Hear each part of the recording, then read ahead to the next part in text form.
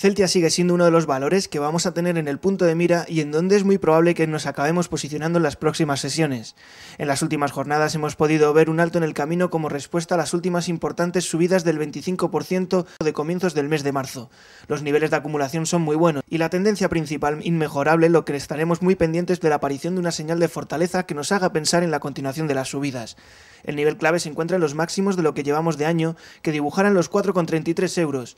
Esto sería la señal que estaríamos esperando y que nos haría pensar en la continuación de las subidas. Si al final consigue definirse al alza es muy probable que acabemos viendo un ataque al nivel de los 5 euros, por lo que es un valor a tener muy en cuenta en las próximas sesiones.